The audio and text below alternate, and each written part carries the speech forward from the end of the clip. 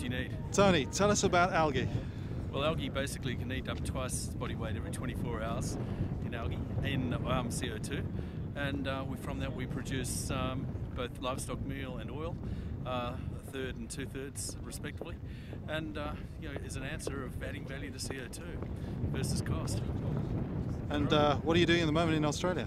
We've got three independent power sta- coal-fired power stations that we're building farms around, we've got a major R&D centre up at James Cook University in Townsville where we've um, now virtually commercialising ag- um, meal out into agriculture and uh, feeding livestock at the moment.